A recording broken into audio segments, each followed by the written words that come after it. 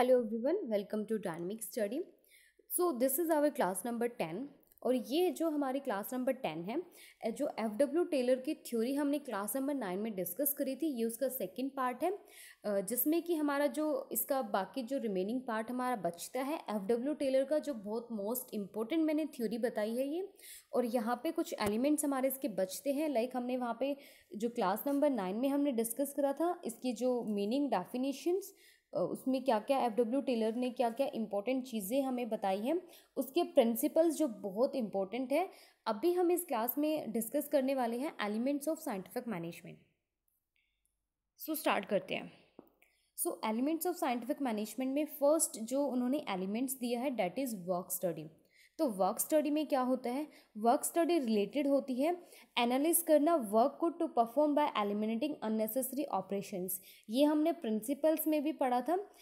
जिसका हम ये बोल सकते हैं रिप्लेसमेंट ऑफ़ रूल ऑफ़ थम जो हमारा फ़र्स्ट प्रिंसिपल था। तो वर्क स्टडी में जो इसके एलिमेंट्स है डैट इज़ उन्होंने बोला है कि जो अननेसेसरी ऑपरेशंस होते हैं ना उनको एलिमिनेट करना चाहिए। ताकि जो हमारा डूइंग uh, जो हमारा वर्क होता है वो क्विकर हो जाए फास्ट हो जाए और अच्छा हमें एक बेस्ट मेथड ढूंढना है, जिससे कि हमारा काम जो है क्विकर वे में हो जाए और अननेसेसरी ऑपरेशन से उनको हम एलिमिनेट कर दें। Next is standardisation of tools and equipments. अब इसमें क्या होता है कि standardisation of tools and equipments क्या होता है? तो वो होता है, एक इंपॉर्टेंट एलिमेंट है, फर्स्टली ये साइंटिफिक मैनेजमेंट का। तो उन्होंने इसमें भी यही बोला है कि वो टेलर चाहते थे only the best way of doing the work हमें सिर्फ़ वही मेथड यूज़ करना है जो हमारे लिए बेस्ट है, किसी भी वर्क को करने का। तो ये हमें फाइंड आउट करना है, ये हम साइंटिफिक uh, अगर हम तरीके से अगर हम किसी चीज़ को देखते हैं ऑब्ज़र्व करते हैं तो हम डेफिनेटली किसी भी काम को करने का एक जो है बेस्ट वे हम फाइंड आउट कर लेते हैं। तो उन्होंने यही बोला है जो प्रॉपर टूल्स और इक्विपमेंट्स जो ज़रूरी होते हैं increasing the speed of work तो वो हमें यूज़ करने चाहिए ताकि हमारी जो आ, हमारा जो भी वर्क है, वो हमारा जल्दी से, फटाफट से हो जाए और हम, हमें वो प्रॉपर टूल्स और इक्विपमेंट्स को यूज़ करना है। तो standardisation of tools and equipments में यही बोला गया है। Third one is scientific selection placement in training तो इसके नेम से ही सजेस्ट कर रहे हैं कि जब भी हम रिक्रूटमेंट करते हैं तो वहाँ पे क्या होना चाहिए? तो जो हमारा जो जो सिलेक्शन होता है सिलेक्शन का जो प्रोसीजर होता है तो वो कैसे होना चाहिए? साइंटिफिकली होना चाहिए। तो speed and quality of work है, वो लिंक करती है किससे? टाइप्स ऑफ़ पर्सन कि आपने किस टाइप के पर्सन को सिलेक्ट किया हुआ है टेकिंग फॉर वेरियस जॉब्स तो टेलर ने बोला है कि जो worker should be selected by procedure of select जो उनका जो प्रोसीजर होता है वर्कर्स को सिलेक्ट करने का तो वो बेस होना चाहिए उनकी एजुकेशन पे कि उनकी एजुकेशन उनकी क्वालिफिकेशंस क्या है, उनका एक्सपीरियंस क्या है और एटीट्यूड क्या है उनका टुवर्ड्स वर्क तो ये कुछ इंपॉर्टेंट चीज़ें हैं जो हमें सिलेक्शन करने से पहले डेफिनेटली देखी भी जाती है और लेकिन पहले नहीं देखी जाती थी तो उन्होंने ये थ्योरी के थ्रू हमें बता दिया है कि जैसे अगर हम खुद भी कहीं पे टीचिंग के लिए मान लो कि अगर हम टीचिंग के लिए जा रहे हैं तो सबसे पहले हमारा क्या है, हम अपना नेट क्लियर करेंगे। तो यहाँ पे हमारा नेट क्लियर करेंगे तो जब हम इंटरव्यू के लिए जाएँगे तो हमारे पास क्या होगी? हमारी एजुकेशन क्वालिफिकेशन हमारे पास रहेगा कि हाँ हम नेट क्लियर करके आए डेफिनेटली जो उससे पहले की हमारे पास एजुकेशन है एंड जो हमारे पास एक्सपीरियंस है, अगर है तो ठीक है, अगर आप फ्रेशर है तो आप ये भी बोलते हैं कि हम फ्रेशर हैं। और आपका एटीट्यूड कैसा है? वो आपकी हॉबीज़ पूछते हैं तो वो हॉबीज़ इसलिए पूछी जाती है कि आपका वर्क में जो इंटरेस्ट है वो है भी या नहीं है। तो इसलिए वो इंटरव्यू के टाइम पे आपसे पूछा जाता है। तो उन्होंने यही बोला कि सिलेक्शन आप तभी करो जब उनका इंटरेस्ट हो towards work next is introduction of functional foremanship अब फंक्शनल फॉर्मेनशिप का क्या मतलब है? उन्होंने बोला है कि वर्कर और फैक्ट्री के जो वर्क होते हैं ना वो free from the burden of planning and designing तो जो वर्कर्स होते हैं, उनको फ्री कर देना चाहिए प्लानिंग से और डिज़ाइनिंग से। अब प्लानिंग कौन करेगा? तो प्लानिंग करते हैं डेफिनेटली टॉप लेवल के लोग करते हैं मैनेजमेंट के जो होते हैं तो जो फंक्शनल फॉर्मेनशिप है, वो एक्सटेंशन है प्रिंसिपल ऑफ़ स्पेशलाइजेशन और डिवीज़न ऑफ़ लेबर ठीक है तो ये हमने जो प्रीवियस लेक्चर में भी डिस्कस करा था कि डिस्ट्रीब्यूशन ऑफ़ वर्क होना चाहिए, ताकि मैनेजमेंट का अलग वर्क हो और वर्कर्स का अलग हो, ताकि वो फ्री रहे एक दूसरे के वर्क से और सिर्फ़ अपने वर्क पे फोकस करे। तो जो प्लानिंग सेक्शन है, वो कंसनट्रेट करती है planning the task issuing the instructions to worker for implementing them तो वर्कर्स का काम होना चाहिए कि उस जो प्लानिंग उन्होंने की है टॉप मैनेजमेंट ने, उनको सिर्फ़ अप्लाई करे, ठीक है? तो ये टास्क प्लानिंग करने का टास्क किसी और का होना चाहिए मैनेजमेंट का होना चाहिए तो ताकि जो वर्कर्स है वो अपना काम कर सकें और फ्रीली कर सकें, ठीक है? सो नेक्स्ट इज़ एक मिनट नेक्स्ट इज़ फिफ्थ कर रहे हैं हम introducing of costing system introducing of costing system में क्या आता है?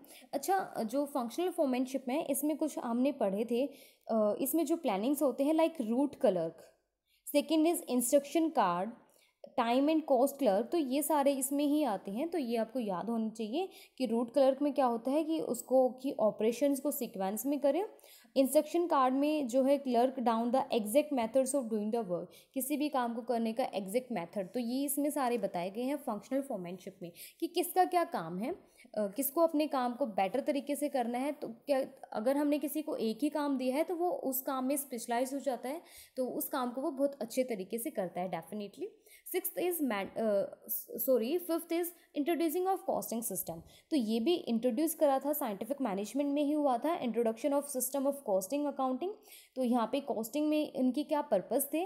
तो वो पर्पज़ थे to present cost for cost reduction and cost control तो जो कॉस्ट है, उनको कॉस्ट को रिड्यूस करना कॉस्ट को कंट्रोल करना यहाँ पे हमारा साइंटिफिक मैनेजमेंट में ही आया था। Enable estimation of cost and preparation of budgets जो हम बजट्स को प्रिपेयर करते हैं।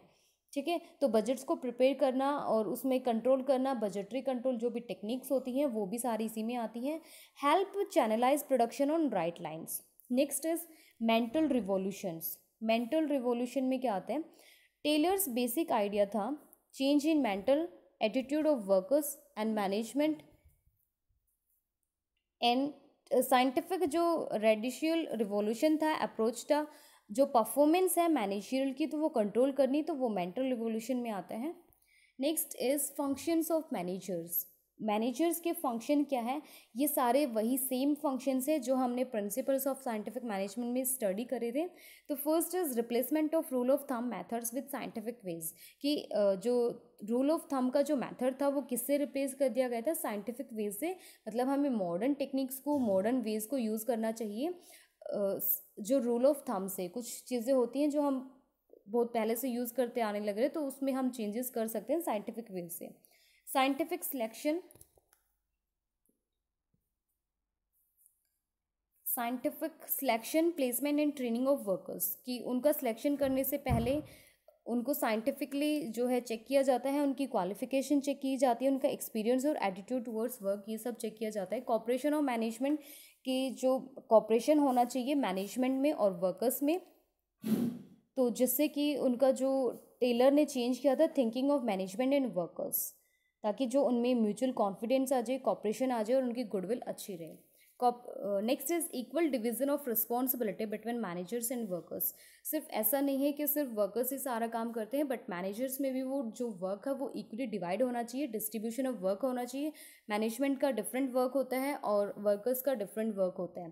तो जो मैनेजमेंट है वो प्लानिंग कर सकते हैं ताकि जो वर्कर्स है उसको एग्जीक्यूट कर पाए प्लानिंग को। Next is application of scientific management approach अब जो ये अप्लाई कहाँ होता है? साइंटिफिक मैनेजमेंट अप्रोच तो है थ्योरी तो है, हमने इसको स्टडी तो कर लिया बट इसको हम अप्लाई कहाँ करेंगे? तो अप्लीकेशंस कहाँ पे होती है? एक बार देख लेते हैं।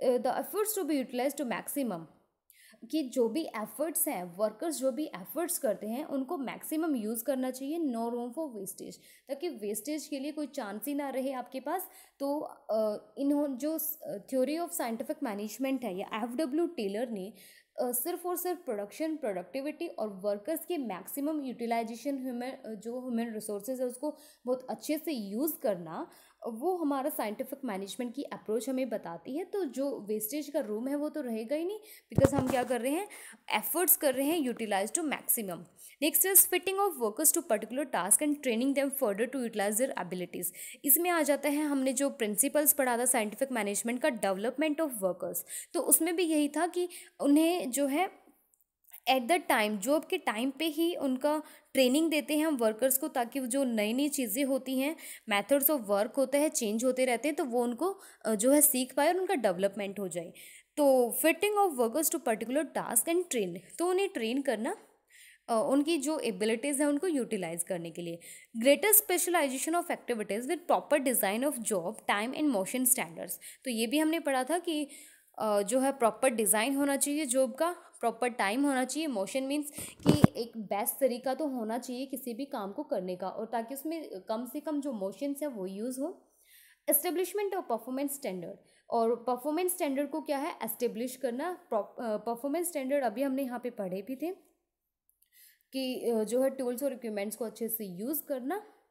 Next is use of monetary and other in use of monetary and other इनका क्या मतलब है? uh, कि हमने जो है पहले भी पढ़ा था डिफरेंशियल पीस रेट सिस्टम यहाँ पे बोला जा सकता है कि इसमें क्या था कि जो वर्कर्स ज़्यादा काम करते हैं स्टैंडर्ड से एक्स्ट्रा काम करते हैं तो उनको एक्स्ट्रा पे भी मिलनी चाहिए उसी के अकॉर्डिंग ठीक है? सो डैट जो है वर्कर्स मोटिवेट रहे हर टाइम और जो अपना कंट्रीब्यूशन है वो अच्छे से दे पाए और प्रोडक्शन में प्रोडक्टिविटी में वो हेल्प कर पाए, ठीक है? तो ये मॉनिटरी इसलिए था कि जो है एक्स्ट्रा काम कर रहे हैं तो उनको भी जो है एक्स्ट्रा पे मिलनी चाहिए।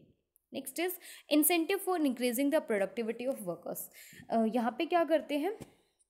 इंसेंटिव्स देते हैं for increasing the productivity of workers वही same differential piece rate system आप उसको बोल सकते हो। अब हाँ कुछ एप्लीकेशंस तो हो गई है इसकी। अपोजिशंस क्या होते हैं? साइंटिफिक मैनेजमेंट के। तो ये हमारा लास्ट टॉपिक है एफ़ डब्ल्यू टेलर का। तो नेक्स्ट हम फिर जो थ्योरी पढ़ेंगे डैट इज़ हैंनरी फ्यूल की स्टडी वो भी इंपॉर्टेंट है। फर्स्टली हम अपोजिशन पढ़ लेते हैं कि इसके कुछ अपोजिशन होंगे, तभी एक नेक्स्ट थ्योरी डेवलप्ड होती है। तो उसमें है टेलर्स ने जो है, किया था Taylor's ignore human element in his approach human जो एलिमेंट्स है, उसको इग्नोर कर रहा है, क्योंकि वो सिर्फ़ प्रोडक्टिविटी पे ध्यान दे रहा है कि किस तरह से मैक्सिमम यूज़ किया जाए पीपल्स को, वहाँ वहाँ के जो टूल्स एंड इक्विपमेंट्स हैं, उन सबको। Next is incentive to workers were not commensurate with the increase in productivity और फिर वो ये ये भी बताते हैं कि जैसे जो एम्प्लॉयज़ है वो वर्क तो ज़्यादा करते हैं बट उसके अकॉर्डिंग उनको पे नहीं दिया जाता। तो ये भी उसका कुछ अपोजिशन था, कुछ उनकी लिमिटेशंस थी। Next is this approach ignores the average workers जो एवरेज वर्कर्स होते हैं, जो जो है ज़्यादा काम नहीं कर पाते हैं मैक्सिमम आउटपुट नहीं दे पाते हैं because of tough competition to be more efficient and productive next is specialisation makes the work repetitive and monotonous उन्होंने बोला, अब यहाँ पे क्या यूज़ हुआ था कि स्पेशलाइज्ड कि डिविज़न ऑफ़ वर्क होना चाहिए स्पेशलाइजेशन ऑफ़ वर्क होना चाहिए, लेकिन अगर स्पेशलाइजेशन अगर एक वो बोलते हैं कि अगर एक पर्सन एक काम को करेगा तो मोनोटोनस मतलब वो बोर हो जाएगा उस चीज़ से। ठीक है? Next is it separates the worker from managers definitely ये उन्होंने बोला है कि हमने अभी भी पढ़ा था कि वर्कर्स का डिफरेंट वर्क होता है और मैनेजर्स का डिफरेंट वर्क होता है मैनेजर्स प्लानिंग करते हैं तो ये उन्होंने बोला है यहाँ पे। तो सेपरेट्स करता है workers from managers next is Taylor concentrated more on problems of factory management definitely वो सिर्फ़ फैक्ट्री मैनेजमेंट को देखते हैं, किसी भी बाकी जो उनका एरिया होता है ऑर्गेनाइजेशन में, वो उसको नहीं कंसिडर करते। वो सिर्फ़ प्रोडक्शन प्रोडक्टिविटी पे फोकस करते हैं। पर्सनल पे इतना ध्यान नहीं दिया जाता है, सिर्फ़ ये बोला जाता है, उनको एक्स्ट्रा पे तो मिलनी चाहिए। बट अपोजिशन में अभी हमने क्या पढ़ा है कि उतनी ज़्यादा पे उनको नहीं मिलती है। उतना इंसेंटिव वर्कर्स को नहीं मिलता है जितना वो प्रोडक्टिविटी को इंक्रीज़ करते हैं। तो ये थी हमारे कुछ अपोजिशंस जो कि बहुत इम्पोर्टेंट है, क्यों, क्योंकि अगर कोई थ्योरी नेक्स्ट आती है तो उसमें जो इसकी अपोजिशंस थे, उसको वो क्या करेगी कॉप अप करेगी और नेक्स्ट आगे बढ़ेगी। तो ये थी हमारे आज की जो है लेसन्स तो thank you thank you so much keep on watching keep on learning